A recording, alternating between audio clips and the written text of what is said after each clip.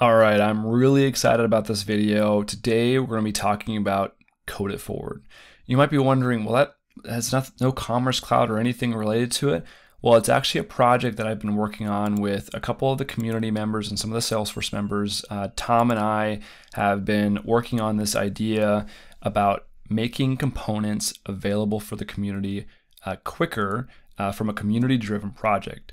So, what I'll be walking you through today is the overview and objectives of Code It Forward. Um, you know, and a little bit of a sneak peek here is that it gives you components in LWR that you can actually start using and customizing now, which we know is a limited commodity. Uh, and I'll actually be going through a couple of the components that are launching in the initial release uh, and exactly what those look and feel like. So stay tuned, we're going to be going right into it now. Now, as it says on the screen here, the objective of this community project is to accelerate the availability of starter and reference components for customers and partners. So we've kind of come together as several community members to bring together kind of the starter components, components that are typically customized on the storefront to make implementation easier. So again, at the end of the day, what we're trying to do with this program here is to make it easier to use Commerce Cloud and customize. Because as partners and users of Commerce Cloud, uh, we've seen a lot of different uh, implementations of these components, and we have to customize uh, these quite a lot in projects. And so we really want to give back to the community and make it easier to customize.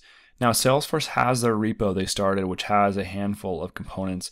We have no plan of replacing that. That's going to continue moving forward, and they have a roadmap of what they're going to be working on, which I could review at some point if you guys want to see that. Um, but on our side, we're going to be taking some of the areas they're not going to touch in the next 18 to 24 months, and we're really going to build these components out uh, quicker so that you can take these components and really customize them for your storefront. So without further ado, let's review some of the components that are going to be available at launch of this repo. Number one is going to be the cart summary component. Now this cart summary component is used on both the cart and the checkout page to show pricing uh, for your cart and what you're going to be purchasing. So it's a really key component there. Shipping instructions is something that's available actually right now if you go to the help and developer documentation. But I've actually updated this quite a bit to make it uh, more plug and play and I think a little bit better. So uh, that will be available as well. And last but not least, shipping methods. Now, shipping methods is on the checkout page and it gives you the ability to choose your different methods. So, a very key uh, component on the checkout. So, I tried to uh, give a little bit from the cart side and a little bit from the checkout side to begin with. But this is only the beginning. We're going to have a ton of other components contributed by other partners and individuals in the space uh, that are really going to give quite a bit of horsepower uh, to this. So if you're interested in checking this out, go ahead and you know take a snap of the QR code here or go to the link down below. Both will send you to the same place. So before we go into the repo and take a look at the code and get in the instance, let's just do one more step down into the details here for these components. Uh, so again, the cart summary component, you can see it here on the right hand side. This is actually on the cart page. Uh, but I'm really excited about this component for a couple of reasons. One of the big ones is that it uses something called slots uh, which I think are really powerful in LWR. Uh, and again, this component is focused on LWR. Um, so you can drag in uh, different text areas into the slots that are available. Uh, and you can see the dotted lines, those are the slots. Uh, so that's really powerful. And then it uses expressions to actually pull the cart information and show it on here. So no Apex required for this one. All of it is available through out of the box functionality in LWR uh, and Commerce Cloud. Uh, so we'll dig into this a little bit further here uh, in a moment. Then we have shipping instructions. Now this one's pretty straightforward, right? It's just adding instructions to uh, my cart. Um, but the way that it's constructed here is uh, pretty cool, I think. So it uses attributes to fill in the title and the placeholder values. Uh, it dynamically saves uh, these instructions that you're putting on here through the Commerce API. So that's a little bit of a change here. Salesforce is starting to get more and more advanced in their Commerce Checkout API. Uh, and the that REST API is uh, starting to come quite along. So I'm using that inside of uh, this component uh, to save everything. Uh, it's dynamic in the way that it actually functions, so that when you're saving, it's disabling the field, so you can't keep on changing it, uh, and it's you know respecting the checkout state. So all the good practices are built into this component. And last but not least is the shipping methods. Now this component looks pretty straightforward, right? You know, it's just choosing between the different uh, methods, but this is a really good starter component uh, because it does all the, the, functionality we talked about before about the using the APIs and uh, dynamic functionality. Um, but on top of that, it plugs right into your existing integration classes. So if you already had an integration class, it's going to plug right into that. You can drag this on here and you can customize as needed from there. So with that, why don't we jump over to the repo real quick and let's take a look. Now here we are on the repo. It's uh, called Salesforce Commerce Cloud Reference Components.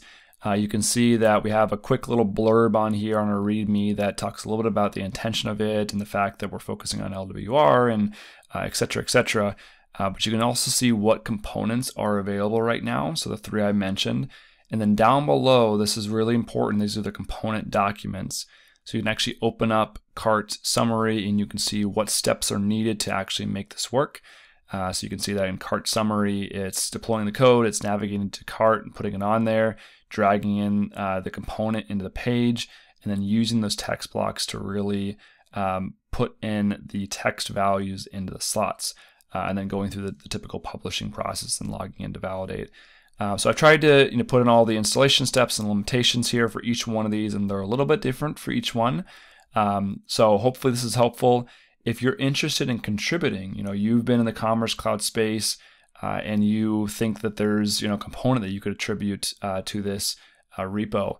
Uh, more than happy to take a look at that. You can go up here and you can fork this, make changes to your version of it, and then you can do a PR back into uh, the main uh, repo here, and we're happy to take a review of that and really um, you know bring back in some good knowledge from the community here.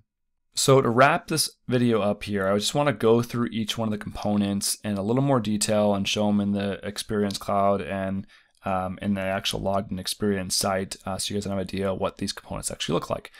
So we're going to start with our cart summary component. And if you go to the left-hand side over here into components and scroll all the way down, you can see we have a couple of components that are custom in my instance here. The ones you'll pay attention to are cart summary, shipping instructions, and shipping method. Uh, so cart summary, you drag over, and you can see this is my custom component on the right-hand side. Uh, and you can see that it defaults having in uh, all these expressions. These are expressions are available on the documentation site. Uh, so you can find those by navigating over into B2B Commerce and D2C Commerce underneath expressions and commerce components. And it will walk you through how to use these, but then you can go into uh, cart data expressions. And once this loads here, you can see all the ones that are available specifically for the cart page. So hopping back over here, you can see that uh, these are all slots as I mentioned earlier. So on the left-hand side, you can actually take a text area. So if I find a text block here, and I can actually drag this into any one of these slots. And that's what makes this really powerful is that, you know, we're no longer doing this. Let me get rid of this real quick. We're no longer doing this just in, you know, attributes on the component. You can actually have attributes that are meaningful for the expressions, uh, but then inside of these text blocks, you have the full range of the text block is available. Now, the way I've built this, because I, th I think it's really important to make these components visible inside of Experience Cloud, is I've built some uh, default values in here um, so that you can actually preview this component without it failing on you uh, when you bring it into Experience Cloud. So if you look just a little bit further down, you can see that I have the standard cart summary component in here too. And it actually has a very similar functionality. It has slots in here, it has default values. Uh, so I've tried to mimic a lot of what they use in the standard one, so it's kind of a plug and play as much as possible. There is some functionality that is not available in the current version I have in here, and the really intent of this was try not not to try to build out everything uh, that is available because there's actually quite a bit of functionality in a lot of these standard components. Um, so for instance, like the strike through price isn't available right now, but you could pretty easily take this component and then extend it to be able to do that. So why don't we hop over into the code real quick. Uh, I'm in my VS Code now. I'm in the cart summary section, so you, you'll be able to download this straight from the Git repo, bring it into your project, uh, and I'll start here on uh, the J JavaScript file. And you can see that we have a couple of slots that we've made available. Uh, this is the syntax of using slots. Um, and you can see that I have a method in here or a function in here called uh, is in site preview. That's really powerful because it allows me to tell if it's in preview or not. And if it's in preview, you can see that we're defaulting a lot of the values here to 100. So you can make this whatever you want to make it more accurate, um, but you can default the values by uh, this method. Um, and then on the metadata file, you can see we're bringing in these default expressions. These default expressions are uh, then used in variables across the HTML side of this uh, to actually display the values. Um, so you can see the value for cart subtotal is right here, which maps back to the cart subtotal right here. Uh, so you can see this file is actually really easier. This component is uh, really easy and straightforward. Um, and then you'll be able to drag that in. And then once we go into our user, let's just get logged in real quick.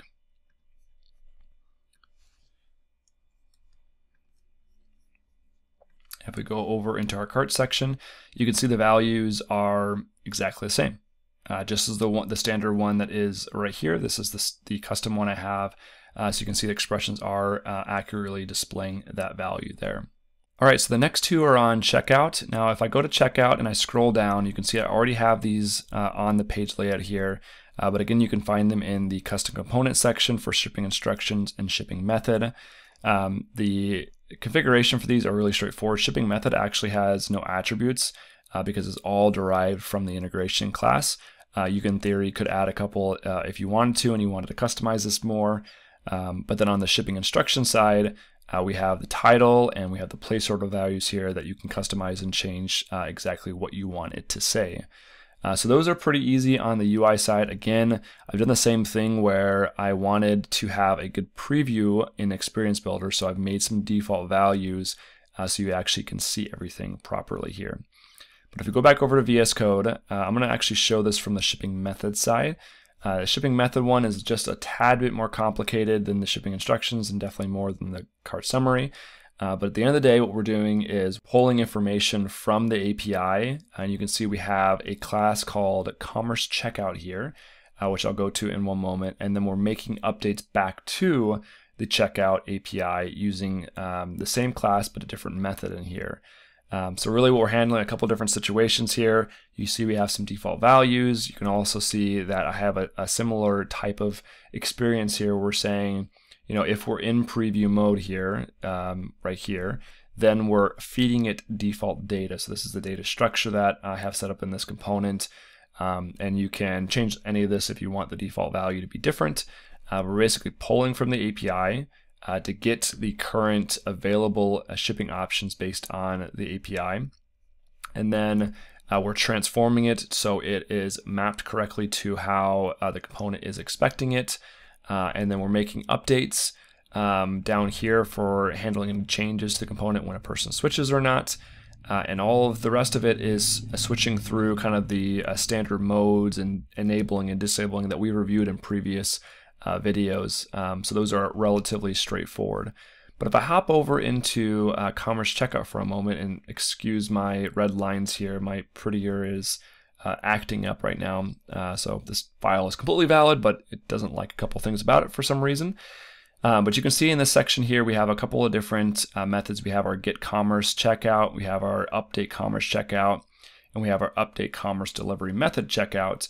Um, so slightly different here because the payloads and the classes structure is a little bit different.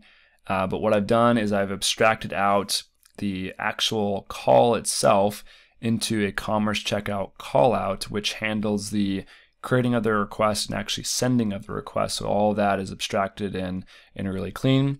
And really all that uh, happens here is we're specifying, you know, what method we're doing, a get or a patch, for instance. Uh, we're specifying uh, the community URL and uh, the actual web store ID. So we're doing all of that dynamically. Uh, so this will work in any instance you pull it into, but I've given a, a sample of what this actually looks like down below. Uh, and then if it has a payload, we're passing the payload uh, into the, the create request method from the commerce checkout callout. And it basically is going to the standard commerce API for uh, commerce slash web stores uh, slash checkouts active, and we're making updates to instructions uh, and or the shipping methods based on uh, whichever you know component is actually calling it. Um, so from that standpoint, it's uh, really easy. When we go into uh, checkout, structure is pretty straightforward. It looks exactly the same as the previous one. Uh, and you can see we do a little bit of, of updating here of like, you know, disabling the fields whenever we're making updates. Uh, you can see that's a little grayed out whenever it goes through that, uh, that update there. Um, so everything else is uh, really straightforward. So hopefully that's a good overview of all those components. Um, all the detail that is needed for the components are inside of uh, the Git repo, as I mentioned before. Uh, but feel free to reach out to me if you have any questions about using these or getting started, or you know if the documents need to be updated. Uh, but I'm actually going to be linking this video in the repo as well, so that uh, you're able to kind of connect the dots between uh, how do I get set up and and how do I bring it into the instance and what does it look like.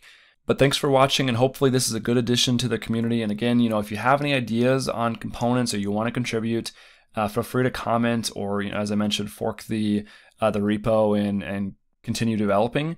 Uh, otherwise, I'll look for uh, the comments. Thanks everyone for watching.